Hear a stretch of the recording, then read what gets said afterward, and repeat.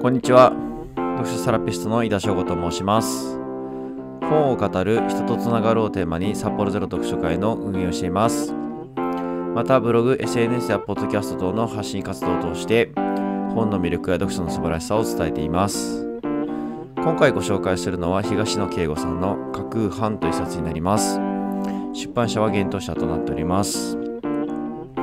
えっと、こちらの作品を読み終えまして、まあ、その緻密なストーリー展開に圧倒をされました、まあ、登場人物の行動ですとか事件に絡む細かい伏線がですね丁寧に編み込まれてまして、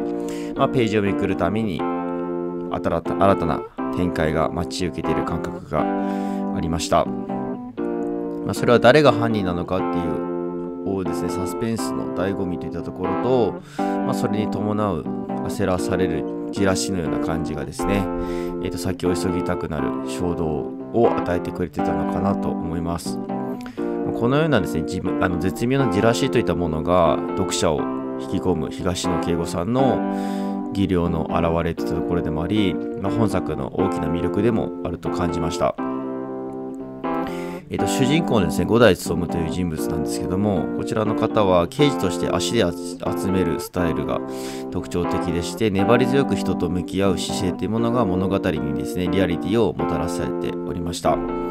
でこの五代ならではの地道な捜査といったものが事件の解決の鍵となりまして、まあ、彼と共に事件を追いかけていくような臨場感がありました。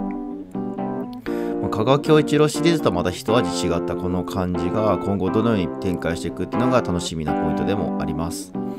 また本作にはですね、恋愛感情のもつれもですね、テーマとして描かれておりまして、まあ、恋愛において必ずしも両思いが最善ではないということを感じさせられました。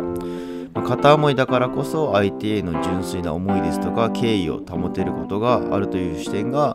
私の中ではですね、新鮮で考えさせられる部分でもありました。まあ、単なるミステリーにとどまらずこうした人間関係の複雑さといったものも描き出す点が本作の奥深さというものを物語っているのかなと思います。さらにですね、東野圭吾さんの作品に共通する読みやすさといったところも大きな魅力だと思いました。まあ、多くの人物が関わり合い、複雑な事件が展開されるというのにもかかわらず、誰がどのように事件に関わっているのかを無理なく終えるっていうものは、まあ、これは東野さんの巧みなヒッチのおかげかなと思っております。このちょうどいい緊張感とスピード感っていうものが最後まで読者である私を引きつけられたのかなと思います。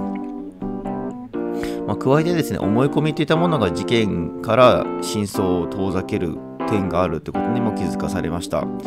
私たちも思い込みによって本質を失うことがあり、まあ、俯瞰的に物事を見ることがどれだけ大切かを改めて感じました。まあ、少し離れたところから全体を見て複数の角度から真実を探るってことは